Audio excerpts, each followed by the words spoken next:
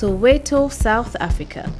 Here lives Lebogang, a 35 year old single mother who has been using skin bleaching creams for over 15 years. I couldn't stop at all. I couldn't stop at all. I was in hunger for that beauty. I even uh, mixed it with my body lotion so that I can I could be light the whole body, not even not the face only. In her 20s, Lebogang became jealous when her friends gradually became lighter in complexion. She started using the same bleaching products, switching to different brands over the years depending on what her friends were using. First, I was, I was very beautiful, light, like like a, a, a white woman. But after the after effects, that's when they started. I was becoming red and itchy, especially when I went outside to the sun. I would, I, I, uh, my skin would, would, would, went completely wrong. Lebogang was not aware of the long-term price she paid. But how could she know? Skin bleaching products are readily available in supermarkets, salons and corner shops in South Africa, the purchase not accompanied by any medical guidance. Lebogang takes us to her local supermarket to show us how easy it is to buy these creams. So what's the difference? This one is for black spot people. So if you've got like dark spots, it's taking out dark spots. as well. I want one that is going to lighten my skin. Okay, and then this one is more black spot corrector. It's for spots on the face. The other one, normally I don't know they buy this one. I don't know. I'm against this one to be honest with you. The customers buy it. It's not difficult to buy them because they, they are very cheap. Some of them are cheap than from getting one from the doctor and then you can even get them from the street vendors. 40% Africans bleach their skins. That's according to the World Health Organization. And more research shows that most are unaware of the potential harm and do not consult doctors. Twin doctors Kanisile and Ziyanda Ndebele advocate actively against the use of skin bleaching products. They are shocked to find them easily available to shop online. Products containing mercury, steroids, and hydroquinone, ingredients with devastating consequences. This is absolutely shocking for me. This is actually the first time I've seen a 4% hydroquinone on the market. on the market Yeah. just freely available like this. So, Mm. They even sell in combos. Yeah, in to make it easier for you in Yeah. bulk, hey? That product there, HQ2%. HQ2%. It's, It's abbreviated abbreviated, as as, HQ. Now you may think, ah, 2% is it's a low amount, right? But any hydroquinone has been banned out of all products, all Yeah. cosmetic products Yeah. in South Africa. So whether it's 1%, 2%, it does not matter. It cannot be contained in any cosmetic um, products. It's banned. It's literally banned. Skin bleaching products are banned in South Africa, in Africa, in so many places. hydroquinone and illegal steroids. Yeah. Banned. But people are still selling those exact products on the internet. This patient over here is a patient who got severe steroid acne on the chest area. So this is classic of it. Um, it happens on the chest and on the back, um, the upper back. This patient over here is a patient who you can tell was using hydroquinone for a very, very long time. How do we know that they're starting to have the complications of the ochronosis? When patients stop using skin bleaching creams, they usually become darker, so they bleach more and struggle to stop. It's a back and forth, back and forth. Anyone who bleaches their skin will have hyperpigmentation when they stop bleaching their skin. So now they have to go through the whole bleaching thing again in order to try and even away. out their skin tone.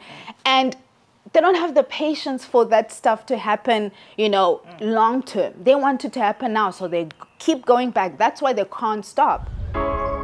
Back in Soweto, Lebogang tries to restore her skin with natural oils. Is there hope that her skin will heal? She used ingredients usually prescribed for a maximum of 3 months for 15 years. If you stop using them, you look like a crane, you look more older because you have stopped look, uh, using them. They're not good at all. People are getting hurt. It's not okay. The government should do something about it. They are illegal, so they must be stopped. Today, more young African women and men than ever are bleaching their skin. It seems like years of public health campaigns have evaporated. Can we change the script? Disregarding the legal ban on the creams, scores of South African influencers and celebrities like Khanyi Mbau are promoting and selling their creams online. Colorism, a specific form of racism, stems from stereotypes regarding dark skin. It is normalized through images we see in the media, successful black artists with light complexions like Beyonce, Alicia Keys, and Mariah Carey, and the underrepresentation of darker tones.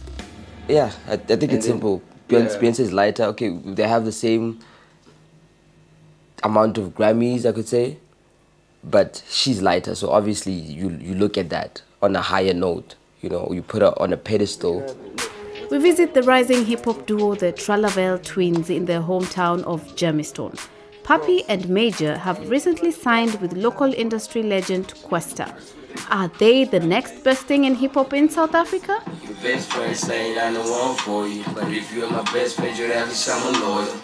They are at the breaking point with their careers, and there is certainly some pressure on the twins to always be at the top of their game, hoping that skin bleaching creams will come to their aid. They started using skin bleaching creams a few months ago as a way to enhance their skin tone to brighten up for the camera. They buy a container of cream for about 7 euro, lasting them about 2 weeks.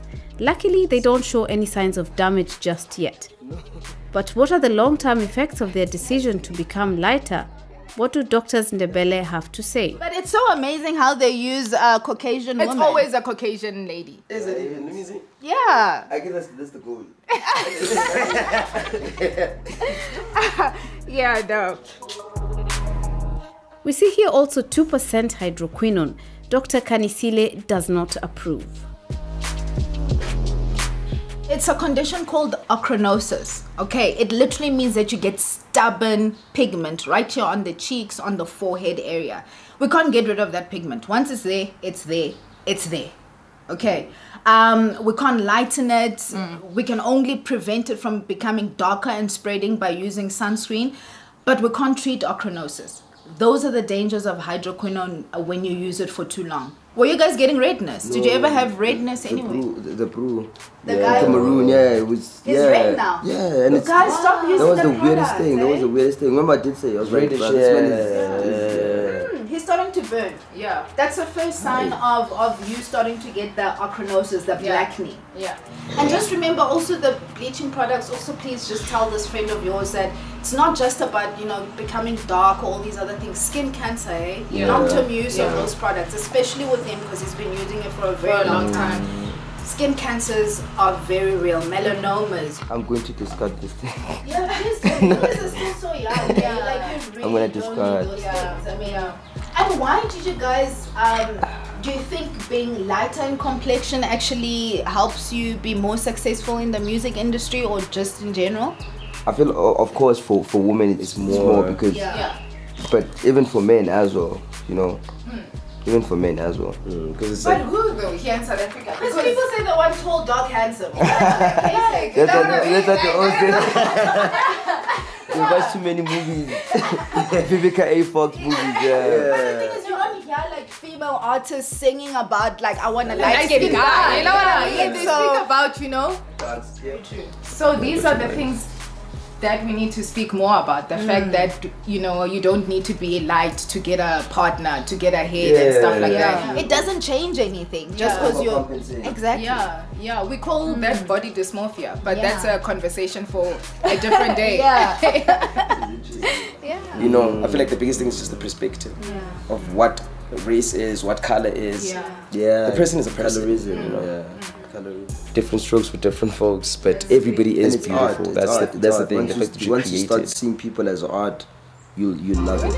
After the visit, Major and Papi stopped using the product. They plan to spread the message of being proud of your natural skin tone in the lyrics of their music.